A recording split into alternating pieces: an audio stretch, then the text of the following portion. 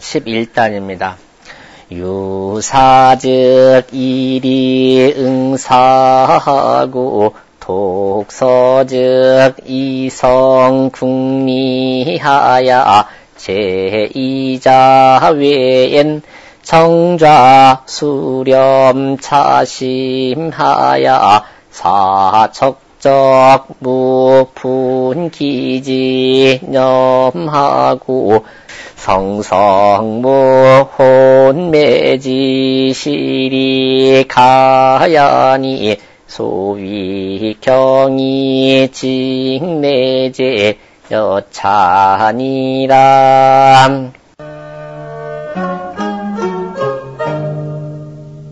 유사즉 일이 응사하고 일이 있을 때에는 이치로서 그 일에 응하고 다시 말하면 그냥 대충대충 덤벙, 덤벙덤벙 하는 게 아니라, 아, 저걸 어떻게 하면 좋을까. 그 이치라는 걸 곰곰이 따져서 그 일에 응하고, 독서적 이성 국리하야 글을 읽을 때는 성자는 이게 진실, 참, 그죠? 차분함, 그렇게 볼 수 있겠죠.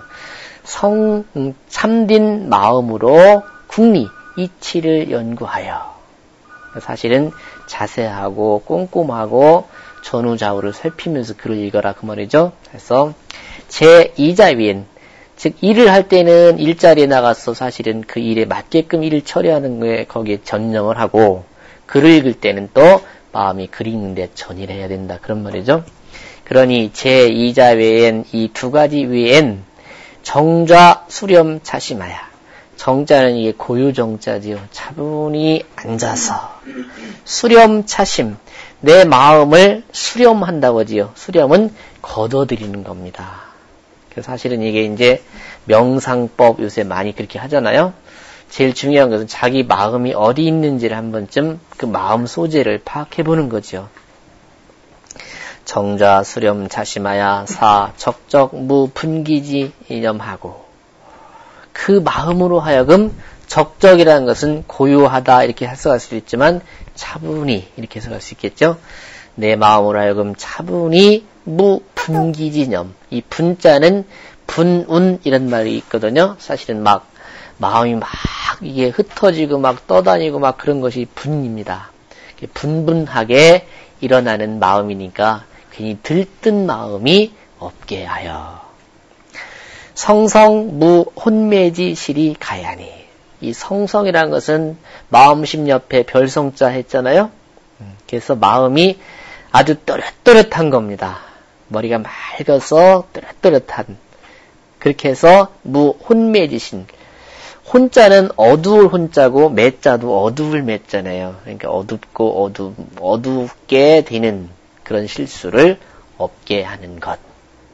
사실은 마음을 눈을 감고 가만히 자기 마음이 정말 어디 있는가 이게 사실은 죽을 때까지 해야 될 공부입니다. 그래서 맹자는 구방심이라고 했지요. 흩어진 마음을 구해오는 거. 그것처럼 중요한 건 없잖아요. 그것이 옳으니 소위 경이 직내자 여차라. 이 경이 직내라는 말은 주역에 있는 말이거든요.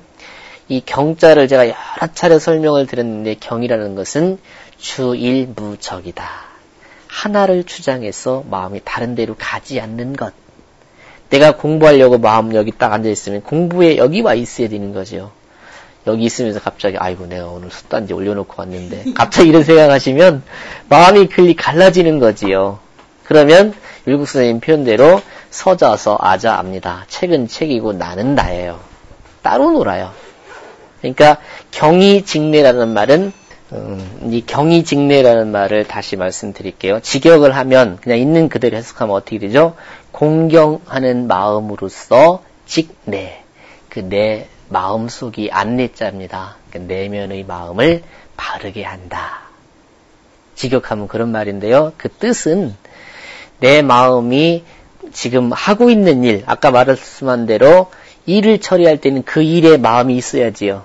그리고 책을 읽을 때는 책 읽는 데 마음이 있어야지요. 사실은 밥을 할 때는 밥하는 데 마음이 있어야 되는 거예요. 음. 글씨 쓸 때는 글씨 그 붓 끝에 마음이 있잖아요. 그게 조금만 삐뚤어지면 사실은 달라지잖아요. 그게 그렇게 하는 것이 바로 경이직내지요. 흩어지지 않고 자기 하는 일에 집중하고 있는 그 마음 자세. 그것이 바로 이와 같으니라. 다시 말하면 율국 선생님이 얼마만큼 경이직내라는 말을 깊이 생각을 하셨는지 그 경이직내는 두 가지밖에 없다. 일을 할 때는 일에 나가서 그 일에 그냥 하는 게 아니라 골똘히 생각해서 이치에 맞게 일을 처리하려고 하고 책을 읽을 때는 차분하게 앉아서 그 궁리 이치를 이 궁자는 이게 연구할 궁자입니다. 이치리 이자고요. 궁리 우리 궁리 궁리 그러잖아요. 궁리라는 말은 그 이치를 찾아보고 생각해보고 맞춰보고 하는 것이 궁리예요. 그것이 바로 경이직내의 공부였더라 그런 말이죠.